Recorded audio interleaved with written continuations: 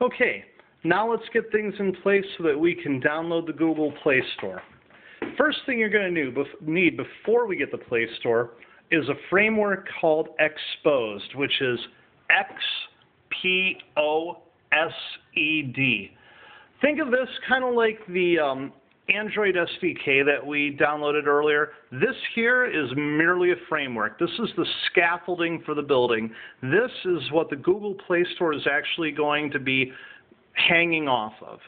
So you want to go ahead, you want to download that, and then you want to go and sideload that onto your onto your Ouya console. So how do we do that? Well, you download it,